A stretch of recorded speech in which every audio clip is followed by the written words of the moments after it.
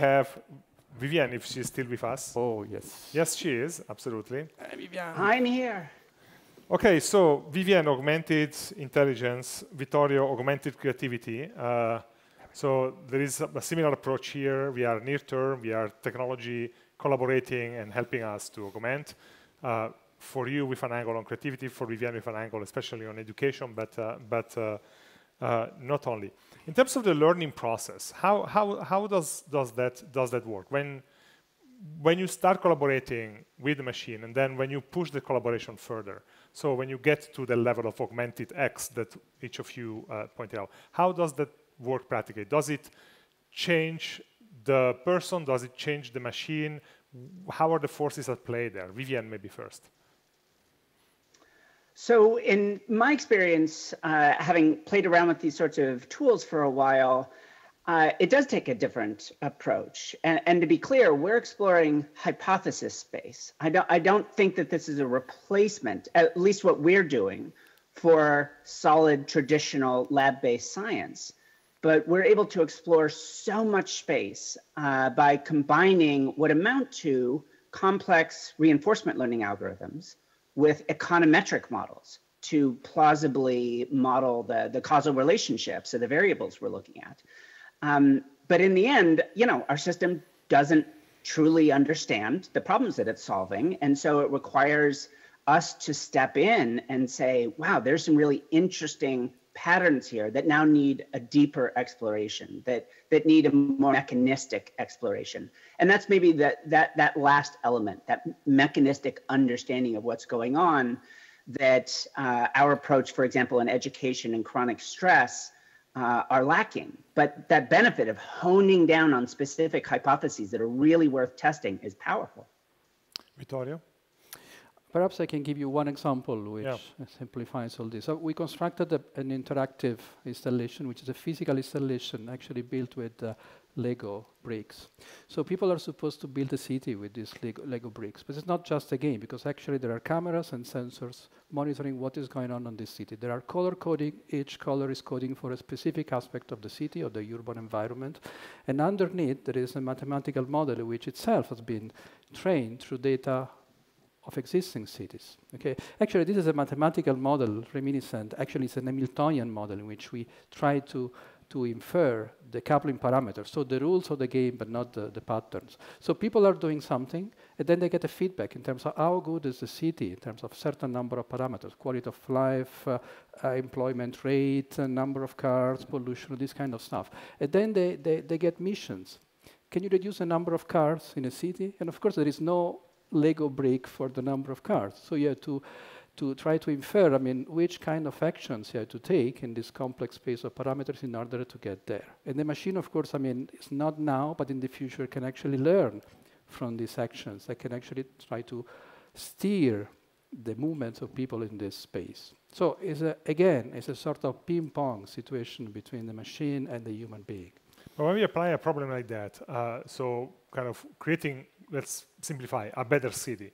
Uh, and you, you put a machine and humans on it.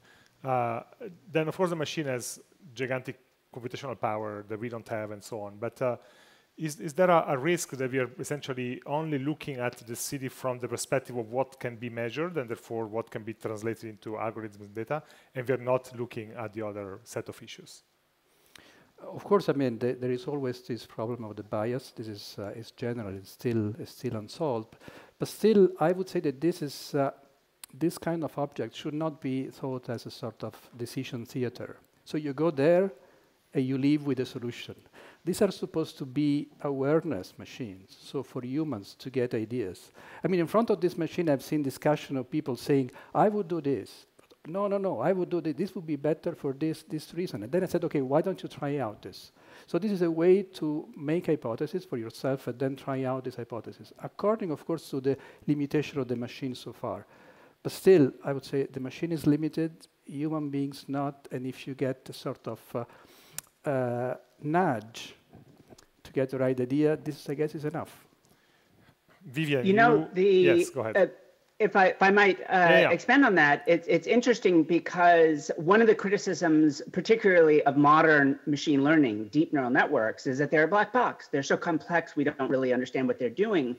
But by actually creating these closed loop experimental systems, it reveals, if not the motivation, for lack of a better word, and that's a terrible one, but the lack of a motivation behind the experiment, you still see the experiment. You see what what the result of this experiment was. So if our system repeatedly nudges individuals to uh, increase their daily walk by 10%, then that allows my team to then explore that as an independent causal re relationship to, let's say, ischemic heart disease. Admittedly, that's something we already know, but what's interesting is, is heterogeneity. Uh, science generally takes specifics and generalizes them into a general theory. But then we have this assumption we can take that general theory and apply it back to the specific instances. What in fact we see is almost everything that emerges from our analysis, that extra 10 minutes of walk every day helps most, but not all people. Uh, increasing your openness to new experiences decreases stress for most, but not all people. And, and understanding that those unique heterogeneities, particularly given work I've done in the past, for example, using AIs in hiring, which is highly ethically complex and induces all sorts of problems. If you cannot causally say why this specific person should be hired or not hired, you shouldn't be using that system. Mm-hmm. Uh, and and I think we Definitely. we have the chance to look at science in the same way. Okay, we just have one minute left, and uh, Vivienne, forgive me, but I cannot resist.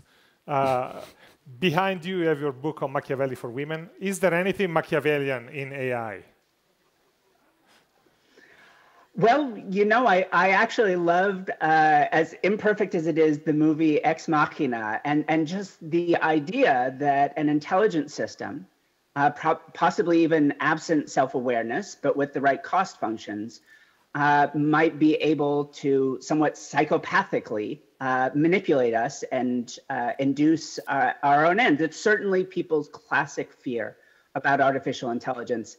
Although I have to say, boy, I wish we had that problem. I've, I, at least as a, someone developing AI, uh, the fact that I can't get the damn thing to do the stupidest and most simple thing most of the times, I wish I had a super intelligent AI that actually worked uh, then we could solve the Machiavelli problem. Okay. Some, some grounding here, it's very welcome. Thank you, Vivienne. Enjoy the rest of the day in California. Vittorio, thank Thanks, you for being Bruno. with us.